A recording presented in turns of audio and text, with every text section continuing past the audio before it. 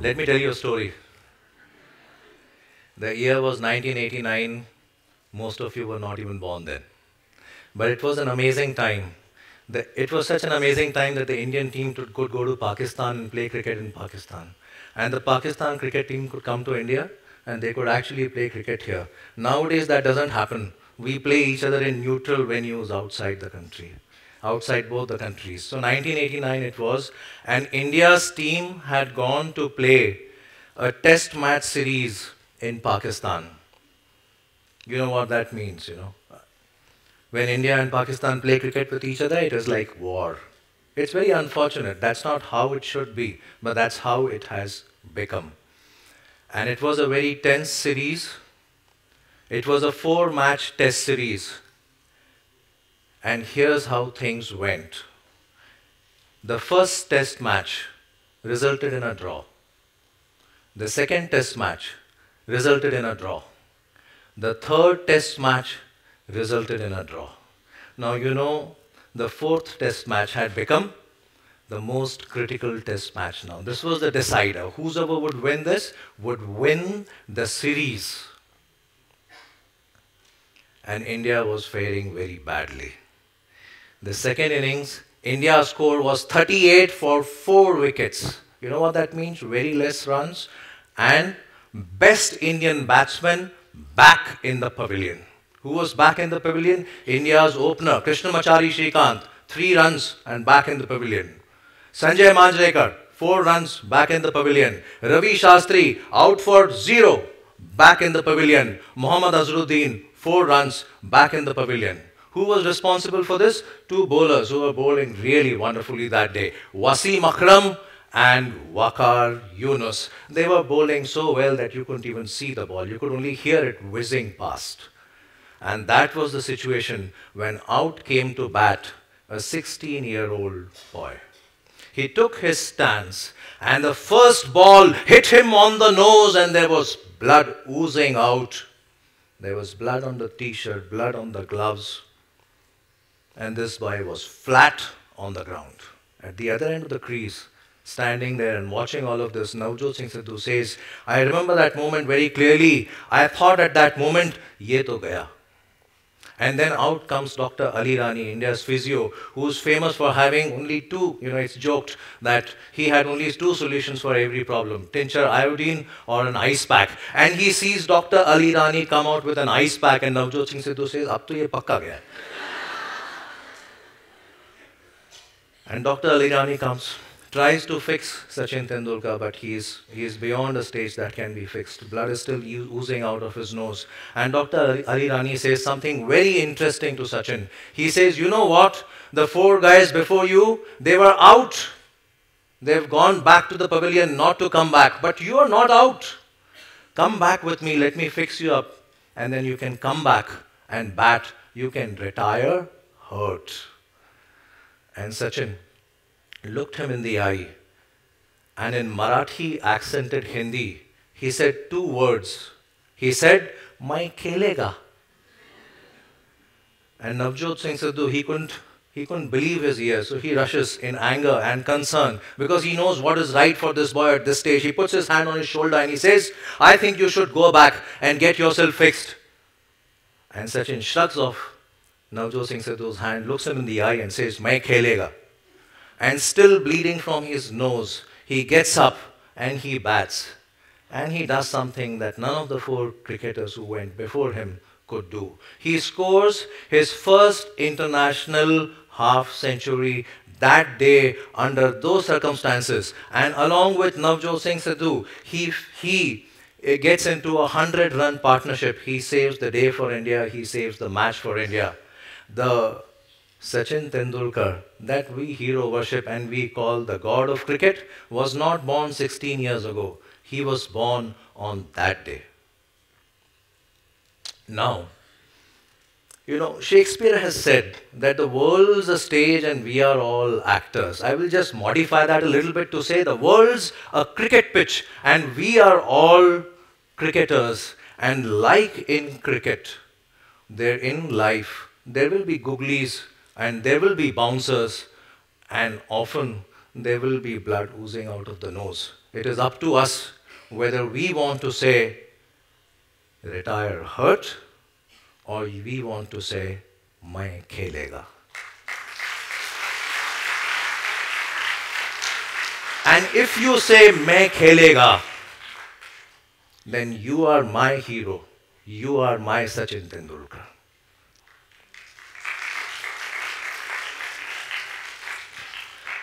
What does it take to challenge challenges? What does it take to do something like this? It takes grit. It takes determination. It takes passion. It takes courage. It takes a big heart.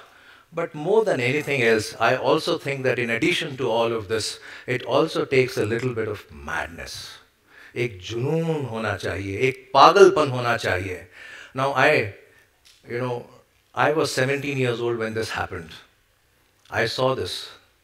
I had dreams. I wanted to do something that I do today, but I didn't have the courage to back it up. I didn't have madness. So I retired hurt into a regular advertising job. And I worked for 17 years till one day I got the courage to say, Main bhi khelega, and Storywallahs happened. And I started the Storywallahs. I remember that day very clearly. You know, my mom, she asked me three questions.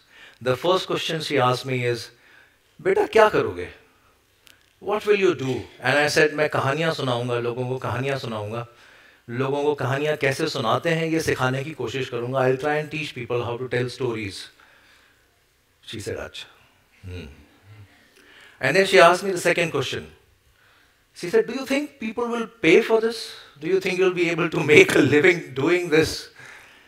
And I said, I'm not sure, but maybe, just maybe, people will pay. In my mind, I knew the answer. It looks impossible. But I thought maybe. And then she asked me the third question. तुम पागल तो नहीं हो गए हो Have you gone mad? And I smiled and I looked at her and I said, हाँ अब मैं पागल हो गया हूँ आओ आओ थोड़ा पागलपन हो जाए आओ हम सब थोड़ा पागल हो जाएँ आओ तेज हवाओं से लड़ जाएँ आओ हम सब पागल हो जाएँ आओ तेज हवाओं से लड़ जाएँ आओ हम सब थोड़ा पागल हो जाएँ आओ पैसे को ललचाएँ। आओ, पैसे को ललचाएँ, उससे उल्टी दिशा में जाएँ। जब भी रास्ते में मिल जाए, उसको कह दे, टाटा, बाय। आओ, थोड़ा पागल हो जाए हम। नहीं अभी बाकी है। आसमान से सारे तारे अपनी जेब में भर के लाए हम। आसमान से सारे तारे अपनी जेब में भर के लाए हम। तारों से कंचे खेलेंगे चाँद हमारा स्ट्राइकर होगा। ये सपना नहीं है, इसको सच करके दिखलाएँ हम। आओ, पागल हो जाएँ हम, तेज हवाओं से लड़ जाएँ हम। आओ, मौत से दोस्ती कर लें। आओ, मौत से यारी कर लें, उसको पार्टी में बुलवाएँ हफ़्ते हफ़्ते मिलने जाएँ, हाय हेलो करके आए, दिल से मौत का खौफ हटा के ज़िंदगी से मिलने जाएँ। आओ, पागल हो जाएँ, तेज हवाओं से लड़ जाएँ। आओ, पागल हो जाएँ। ऐसा कहते हैं, हिंदू, मुस्लिम, सिख, ईसाई हैं ये सारे भाई भाई कहते हैं ना, हिंदू, मुस्लिम, सिख, ईसाई हैं ये सारे भाई भाई आओ, इस चुटकुले को सच मान ले हम। आओ, इस चुटकुले को सच मान ले हम। पागल हो जाएँ हम। तेज हवाओं से लड़ जाएँ हम। आओ फिर से बच्चे बन जाएँ हम। ये मान ले अपने दिल में कि अकेला मैं सारी दुनिया को बदल सकता हूँ। आओ जिद्दी बन जाएँ हम। आओ थोड़ा पागल बन जाएँ हम। आओ तेज हवाओं से लड़ जाएँ हम। आओ पागल बन जाएँ हम।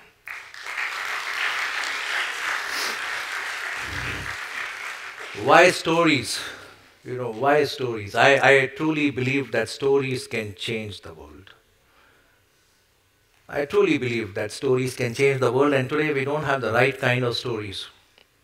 It's important to choose the right kind of stories and tell the right kind of stories. Today we are doing some work transforming education through stories. How many of you remember the Pythagoras theorem?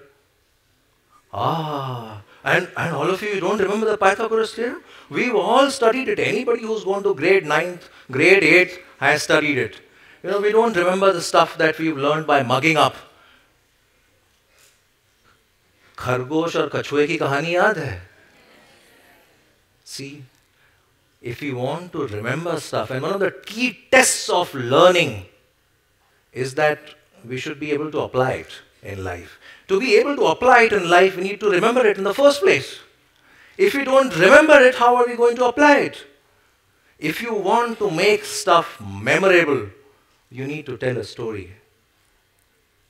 So we are trying to transform education by training teachers how to use stories to teach math, to teach science, to teach life skills, to teach sports, to teach things that they struggle how to teach, like sex education.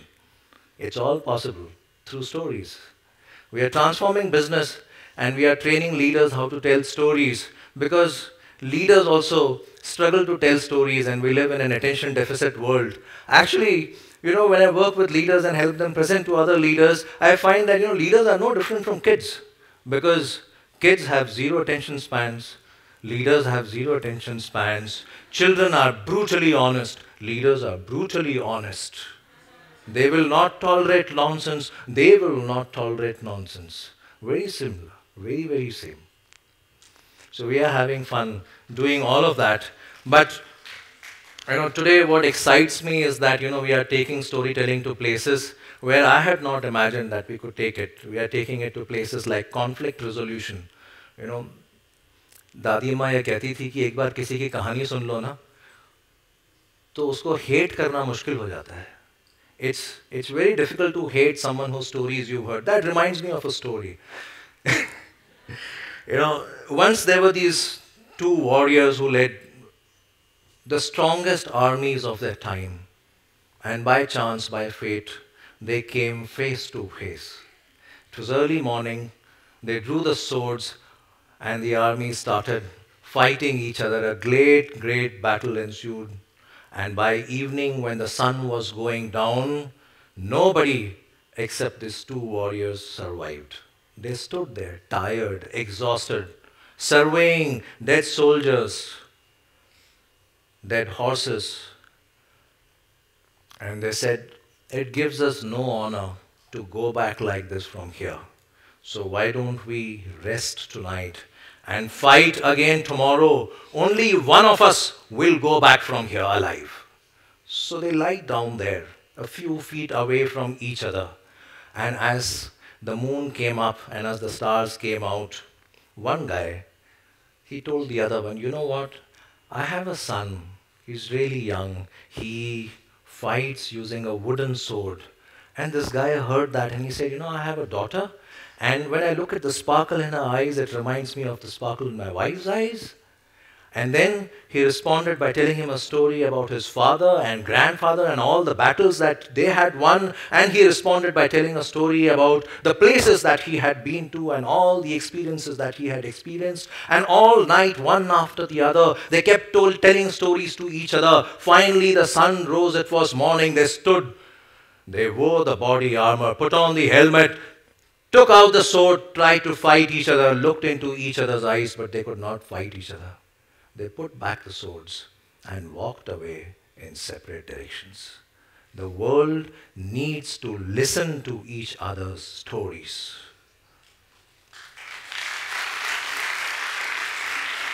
It's a very great skill to be a good storyteller, but more important is a skill to be a good listener. There was a salesman back in the days you know, when television was still early, you know, in, in its early days. And he used to go from town to town, village to village, selling television sets to people. And once he reached a village and he saw that, you know, these people love stories because every evening they sit around a fire and tell each other stories. So he, he went up to those guys and he said, You know what? You guys love stories. You guys will love the television because it tells so many stories. So everybody in the village bought a television set. He was so happy his target was done. And then he moved on. And after a few months, he was passing by the same way and he happened to see something strange in that village. He saw all the televisions gathering dust lying stacked up one above the other. He waited till evening when people gathered and he said, What happened? I thought you guys loved stories. And the elder from the village, he spoke up and he said, You know what? Initially it was fun. The TV would tell us many stories. But it would not listen to our stories. It's more important to be a good listener than to be a storyteller. And how much do we listen to each other?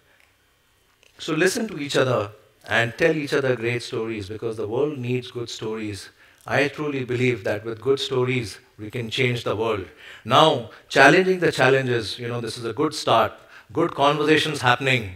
Where do we go from here? Isko aage kahan le jaye? Here's what I am saying to myself today. उठो Columbus उठो Columbus अभी तो बहुत दूर जाना है तुम्हें अब आप सोच रहे होंगे, ये कोलंबस को क्यों उठा रहे हैं? उसको सोए हुए तो बहुत टाइम हो गया। कोलंबस तो एक मेटाफर है। आप कोलंबस हैं, आप कोलंबस हैं, मैं भी कोलंबस हूँ। हम सब सफ़र में हैं। We are all in journey उठो कोलंबस, अभी तो बहुत दूर जाना है तुम्हें। हाँ, ये सच है। हाँ, ये सच है कि चाँद पे झंडा गाड़ चुके तुम, एवरेस्ट को ललकार चुके तुम। पानी के नीचे की दुनिया उसको भी चप्पा चप्पा छान चुके तुम। आसमान को चीर के रॉकेट मंगल ग्रह तक भेज चुके तुम। लेकिन घर के पास पड़ोसी, लेकिन घर के पास पड़ोसी, देखो कब से रूठा बैठा है। उसके घर में फाका है, वो चार दिनों से भूखा है, उसके घर मलहम कब भेजोगे? खुद के दिल में जो नफरत है, उस नफरत पे झंडा कब गाड़ोगे? उस पे फतेह कब पाओगे? उस नफरत का पत्ता कब काटोगे? उठो कोलंबस, अभी तो बहुत दूर जाना है तुम्हें। दुनिया सारी जीत चुके हो। दुनिया सारी जीत चुके हो। दिल जीतना बाकी है। सात समंदर लांग चुके हो। दिल की सरहद बाकी है। उठो कोलंबस, अभी तो बहुत दूर जाना है तुम्हें। आसमान की ऊंचाइयाँ तो छू चुके हो, दिल की गहराइयों में जाना है तुम्हें। उठो कोलंबस, अभी तो बहुत दूर जाना है तुम्हें। Thank you